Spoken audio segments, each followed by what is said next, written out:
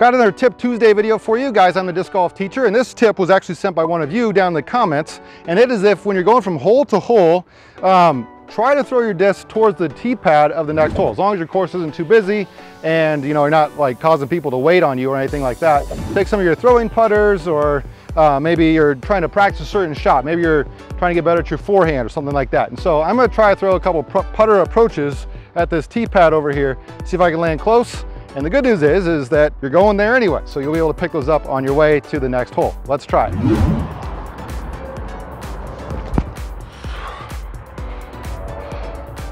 All right, looks like that one was a touch right. Let's try another couple here. more stable this time.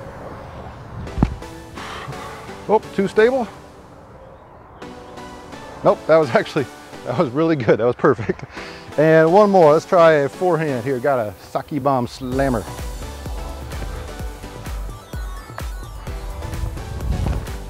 Oh, that's too stable.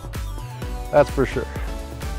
Anyway, something to work on. Got a lot of holes left to work on that. Hey guys, if you like these Tip Tuesday videos, I think you might like this Tip Tuesday video from last week. And also, please leave a thumbs up down below. That way this video can spread to more people. And until next Tuesday, we'll see you out here on the course.